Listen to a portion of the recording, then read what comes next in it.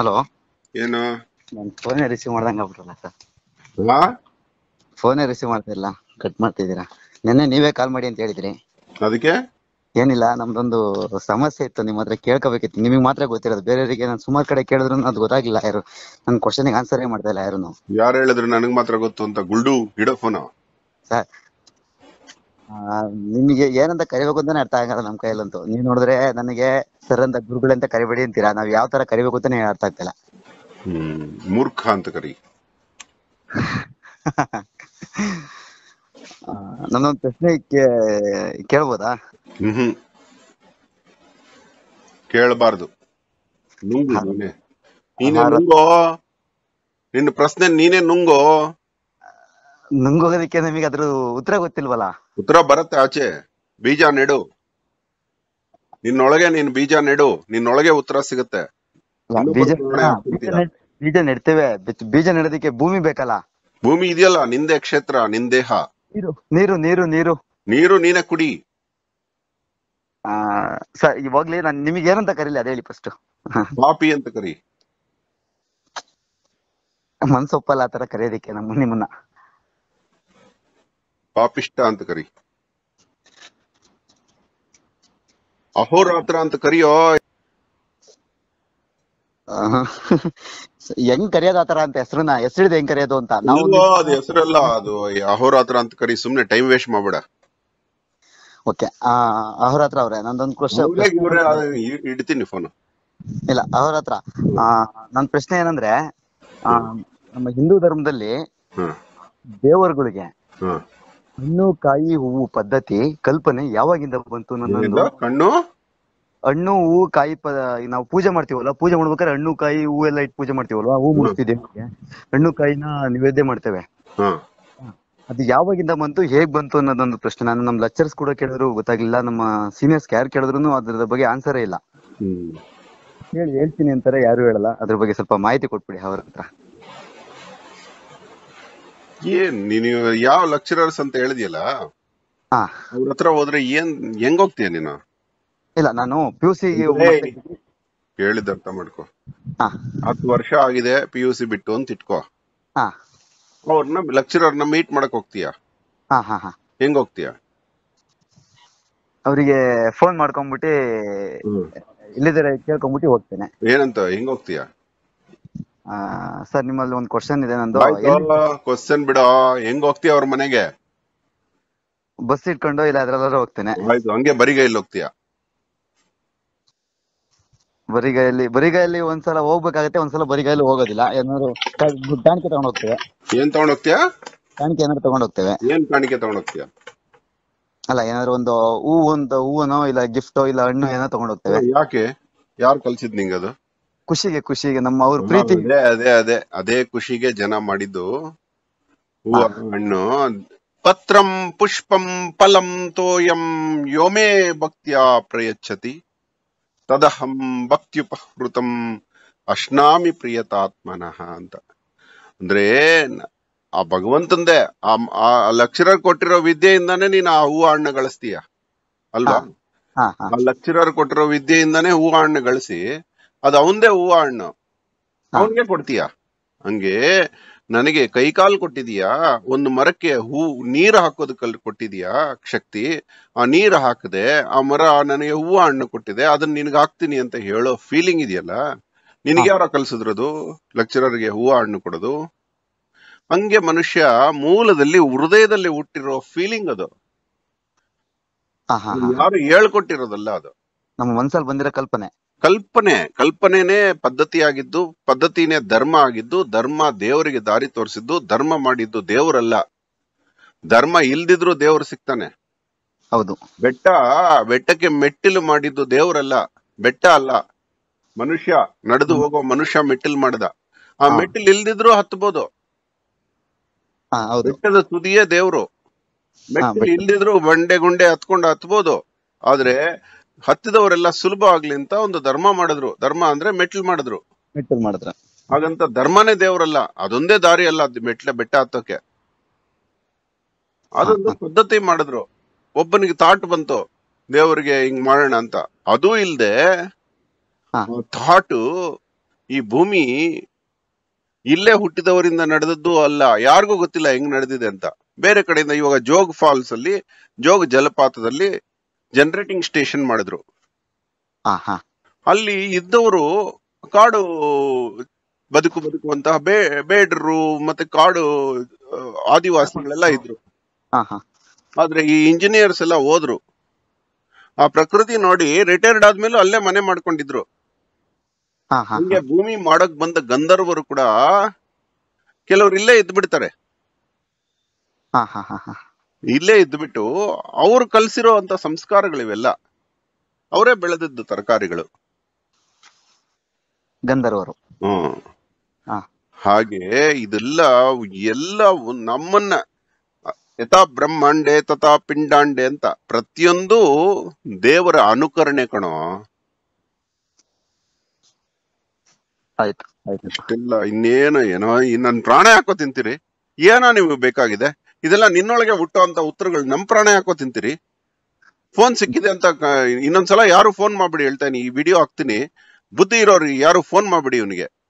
ವಿಡಿಯೋಗಳು ನೋಡಿ ಕಲ್ತ್ಕೊಳ್ರು. ಬುದ್ಧಿ ಇರೋರು ಯಾರು ಮಾಡಲ್ಲ.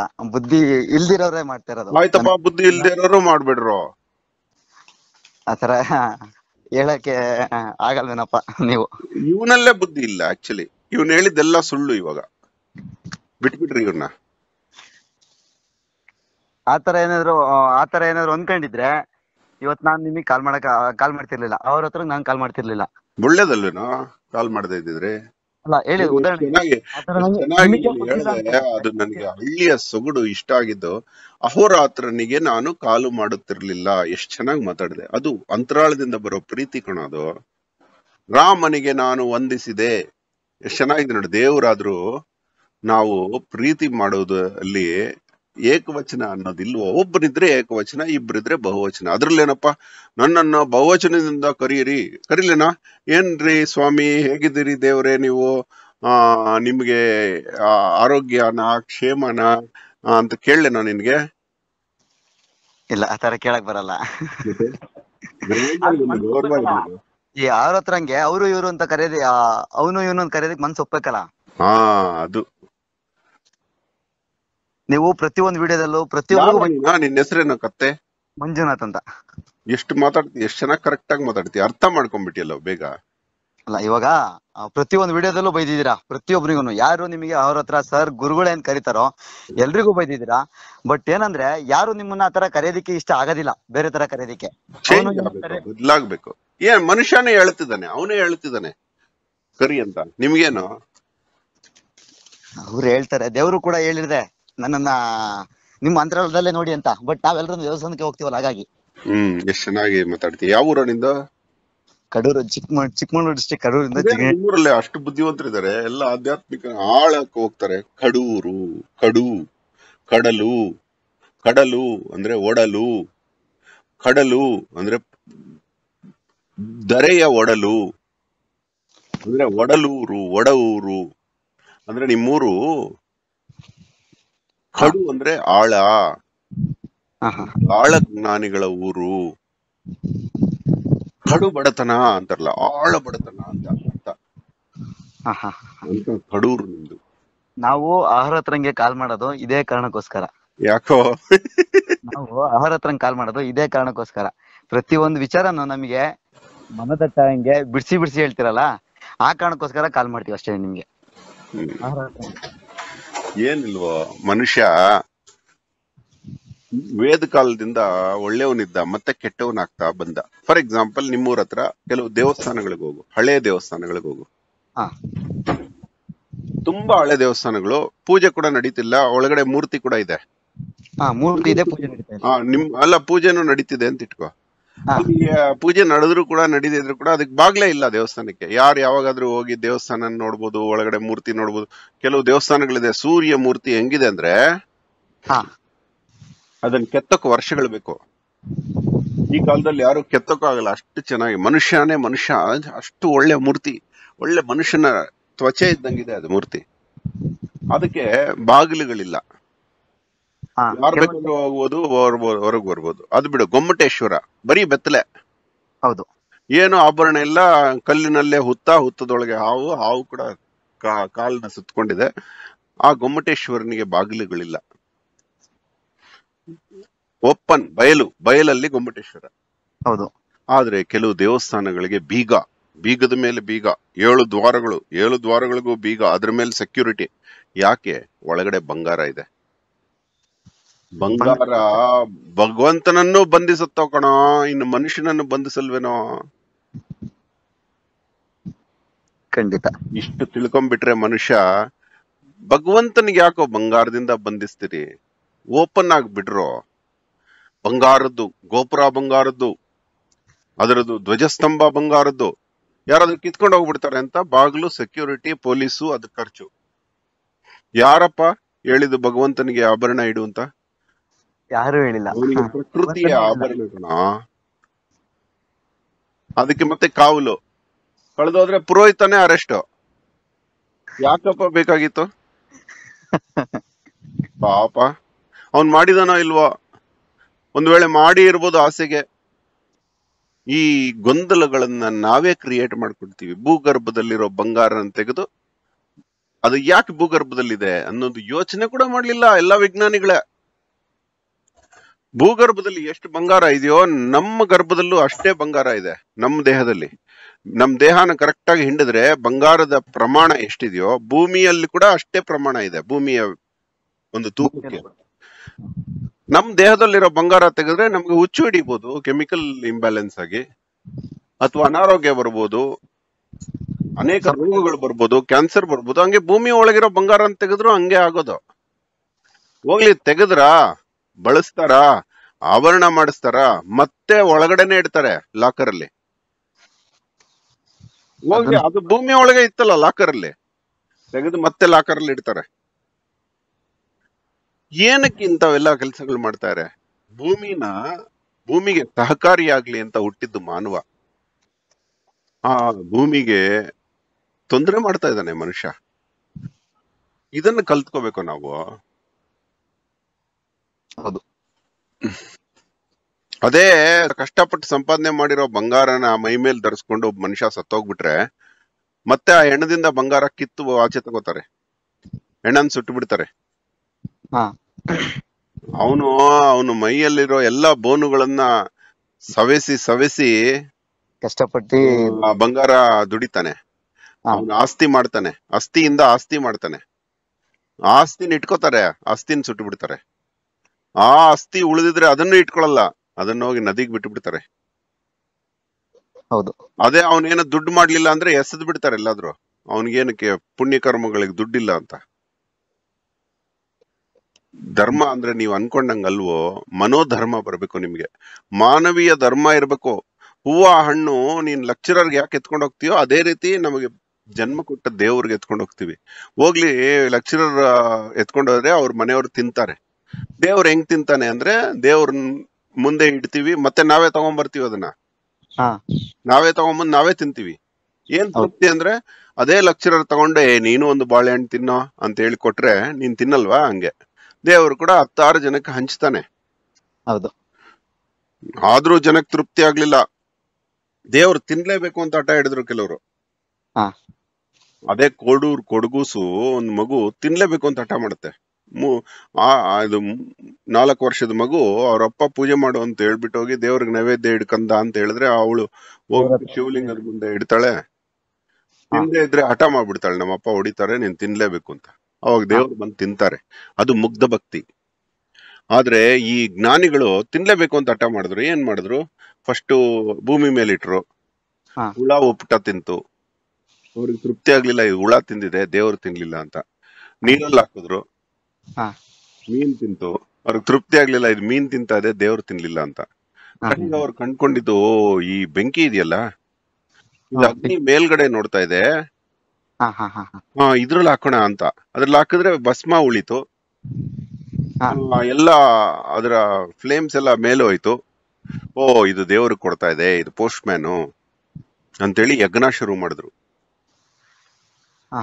ಹಾಗೆ ಯಜ್ಞ ಆರಂಭ ಆಗಿದ್ದು. ಯಜ್ಞದಲ್ಲಿ ಹಾಕಿದ್ದೆಲ್ಲ ಮೇಲೋಗುತ್ತೆ. ಹೋಗ್ಲಿ ಮೇಲೋಗಿದ್ದು ವೇಷ್ಟ ಅಂದ್ರೆ ಇಲ್ಲ ಮೋಡಗಳು ಸೇರುತ್ತೆ. ಮೋಡಗಳಲ್ಲಿ ಸೇರಿ ಒಳ್ಳೆ ರಸವತ್ತಾದ ಮಳೆ ಬೀಳ್ಸತ್ತೆ. ಹಾ. ಪರ್ಜನ್ಯಾನಂದನ್ನ ಸಂಭವ ಅಂತ. ಅಂದ್ರೆ ಓಕೆ ನಮ್ಮಲ್ಲೂ ಒಂದು ಯಜ್ಞ ನಡೀತಾ ಇದೆ ನಮ್ಮ ಜಠರದಲ್ಲೂ ಒಂದು ಅಗ್ನಿ ಇದೆ. ನಾವು. ತಿಂದದ್ದೆಲ್ಲ ಅಲ್ಲಿ ಸುಡತ್ತೆ. ಸುಟ್ಟು ಬೆವರಾಗಿ ಹೊರಗೆ ಬರುತ್ತೆ ಕೆಲಸದಲ್ಲಿ. ಆ ಬೆವರು ಎಲ್ಲೋಗುತ್ತೆ ಅಂದ್ರೆ ಹಾವಿಯಾಗಿ ಮೋಡ ಸೇರುತ್ತೆ. ಮತ್ತೆ ಅಲ್ಲಿಂದ ನೀರು ಬೀಳತ್ತೆ. ಹಾ. ಆ ಪರ್ಜನ್ಯ ಅಂದ್ರೆ ಮೋಡ ಆ ಮೋಡ ಸುರಿಸುವ ಮಳೆಯಿಂದ ನಮಗ್ ಮತ್ತೆ ಅನ್ನ ಹುಟ್ಟತ್ತೆ. ಈ ರೀತಿ ಧರ್ಮ ಹುಟ್ಕೊಂತು. ಹಾ ಹಾ. ಆಯ್ತಾ? ಇಡ್ತೀನಿ. ಸಾಕಾ? ಆ, ನಾನ್ ಕೇಳಿದ ಪ್ರಶ್ನೆಗೆ ಸಾಕು ಅನ್ಸುತ್ತೆ ನನಗೆ. ಸಾಕು ಇಡು ಧನ್ಯವಾದಗಳು. ಓಕೆ. ಏನಂತ ಕರೀಲಿ ನಿಮ್ಮನ್ನ? ನನ್ನೊಬ್ಬನ್ ಪ್ರಶ್ನೆ ಅಲ್ಲ ನನ್ನೊಬ್ಬನ್ ಪ್ರಶ್ನೆ ಅಲ್ಲ. ನಿಮ್ಮ ಫಾಲೋವರ್ಸ್ ಏನಿದ್ದಾರೆ ನಿಮ್ಮ ನಿಮ್ಮನ್ನ ಯಾವ ಯಾರು ಫಾಲೋವರ್ ಇಲ್ಲ ನೀನ್ ತಲೆ ತಿನ್ಬಿಡ. ಯಾವ ಫಾಲೋವರ್ ಇಲ್ಲ ಫಾಲೋವರ್ಸ್ ಇಲ್ಲ ಫಾಲೋವರ್ಸ್ ಇಲ್ಲ ಫಾಲೋವರ್ಸ್ ಇಲ್ಲ. ನಿಮ್ಮ ಮಾತನ್ನ ಯಾರ್ಯಾರು ಕೇಳ್ಸ್ಕೊಂತಾರೆ ಪ್ರತಿಯೊಬ್ಬರು ಪ್ರಶ್ನೆ ಇದು ಏನಂತ ಹೇಳಿ ನಿಮ್ಮನ್ನ? ಓಕೆ. ಏನ್ ಹೇಳ್ಬೇಡಪ್ಪ ಎಲ್ಲರಲ್ಲೂ ಇರುತ್ತೆ ಉತ್ತರ. ನಿನ್ನ ತೋಟದಲ್ಲಿ ಹಾಕಿದ್ರು ಬೀಜ ಮೊಳಕೆ ಬರುತ್ತೆ ಯಾರ ತೋಟದಲ್ಲಿ ಹಾಕಿದ್ರು ಮೊಳಕೆ ಬರುತ್ತೆ. ಇನ್ಮೇಲೆ ನಿಮ್ ಪ್ರಶ್ನೆ ನೀವೇ ಉತ್ಕೊಳ್ಳಿ. ಅಲ್ಲ ನಮ್ ಪ್ರಶ್ನೆನ ನಾವೇ ತಿಳ್ಕ ನನಗೆ ಗೊತ್ತಿರಂಗೆ ನಾನು ಈ ಪ್ರಶ್ನೆ ನಾ ಫಸ್ಟ್ ನಾನೇ ಯೋಚನೆ ಮಾಡಿ ನನಗೆ ಉತ್ತರ ಸಿಕ್ಲಿಕ್ಕೆ ಅವ್ರ ಹತ್ರ ಕಾಲ್ ಮಾಡಿದ್ ನಾನು. ಆಯ್ತು. ಕಲ್ತ್ಕೊಳ್ಳೋ ಏನ್ ಇವಾಗ? ಅಷ್ಟು ಬೇಗ ಉತ್ತರ ಬೇಕೇನೋ ನಿಂಗೆ?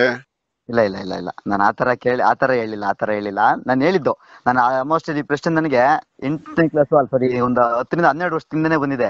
ಹನ್ನೊಂದು ಇನ್ನೂ ವರ್ಷ ಆದ್ಮೇಲೆ ಸಿಗ್ಲಿ ಬಿಡು ಉತ್ತರ. ಏನ್ ಇವಾಗ? ಅರ್ಜೆಂಟ್ ಯಾಕೆ? ಇನ್ನೊಬ್ಬರಿಗೆ ಯಾಕೆ ಕೇಳಿ ಆ ಸುಖನ ಬೇರೆಯವ್ರಿಗೆ ಕೊಟ್ಬಿಡ್ತೀಯ? ಪಿಕ್ಚರ್ ಕ್ಲೈಮ್ಯಾಕ್ಸ್ ಯಾರಾದ್ರೂ ನನಗೆ ಹೇಳ್ಬಿಟ್ರೆ ಅದನ್ನ ನೋಡಕ್ ಮನ್ಸ್ ಬರ್ತೇನಾ?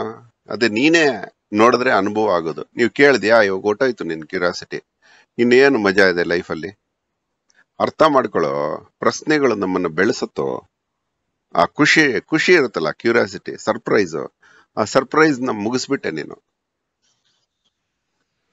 ಅದಕ್ಕೆ ಇವೆಲ್ಲ ರಹಸ್ಯಗಳು ಅಂತ ಹೇಳುದು. ಈ ರಹಸ್ಯಗಳನ್ನ ಯಾಕೆ ಅವ್ರ ಹತ್ರ ಇವೆಲ್ಲ ಆಗ್ತಾ ಇದೇನೆ ಅಂದ್ರೆ ಟ್ರಾನ್ಸ್ಪರೆಂಟ್ ಆಗಿರ್ಬೇಕು ಅಂತ. ನೀನ್ ಹತ್ರ ಮಾತಾಡಿದ್ದು ಹಂಗೆ ಹಾಕ್ಬಿಡ್ತೀನಿ.